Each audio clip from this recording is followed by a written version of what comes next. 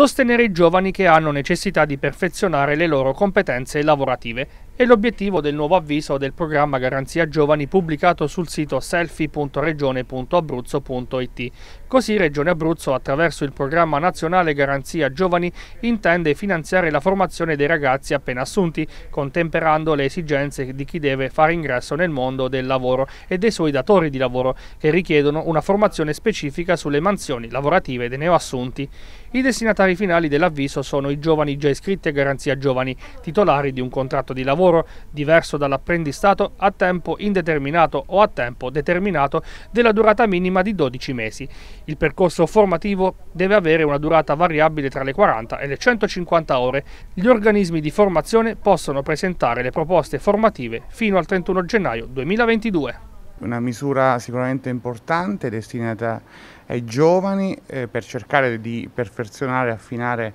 la loro preparazione affinché possano eh, entrare nel mondo del lavoro. Ha eh, una duplice importanza questa misura che è una dote finanziaria iniziale di 1 milione e 2 ma che sicuramente aumenteremo, eh, dicevo importante sia per i giovani ma anche e soprattutto per i datori di lavoro perché spesso hanno la possibilità di assumere ma mancano dei profili con delle particolari caratteristiche, quindi noi con la formazione, con questo percorso che